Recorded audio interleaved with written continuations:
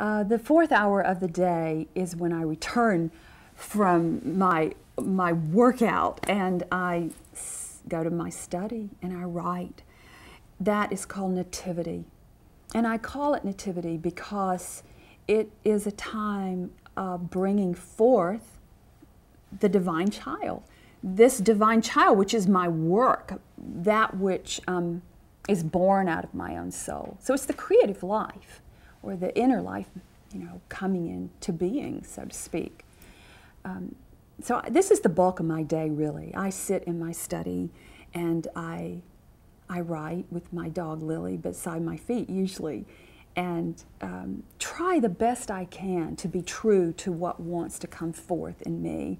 And I try to start that time of work with a prayer um, that I will uh, be true to you know the best creative gift I have in myself, and that it will be something that will do a little good in the world, that it will bless the world somehow.